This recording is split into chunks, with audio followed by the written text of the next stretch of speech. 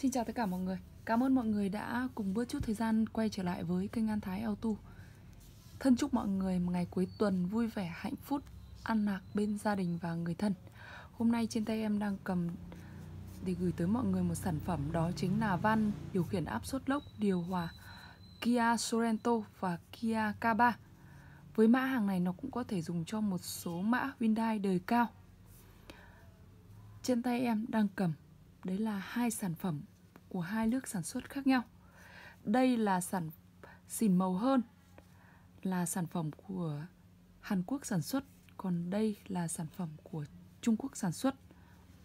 Anh em nhìn thấy một sự nhận biết rất là rõ ràng ở đây một điểm.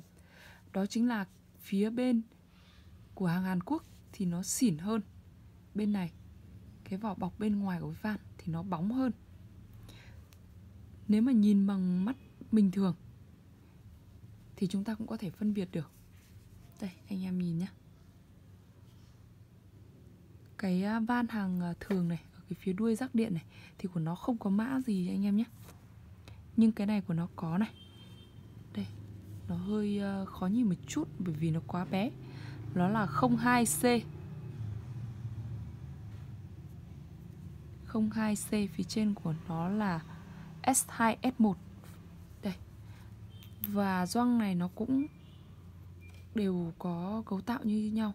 Phía trên là một lớp lưới để bảo vệ bụi bẩn không vào bên trong của van được.